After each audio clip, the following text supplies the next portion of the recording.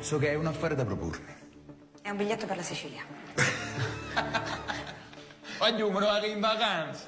No, non vi sto portando in vacanza. Io vi voglio offrire una casa. Visto che pare che non ce l'abbiate più.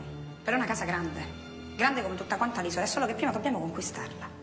Fammi capire. È una cosa tipo lo sbarco dei mille. Ma che te non hai già fatto Garibaldi? Che diamo a fare? Io non per- sono venuta qui per farvi ridere.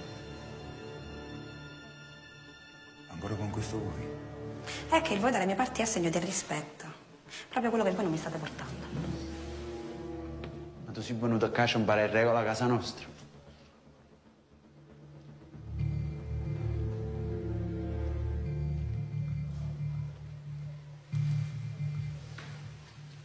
Amore, ne va.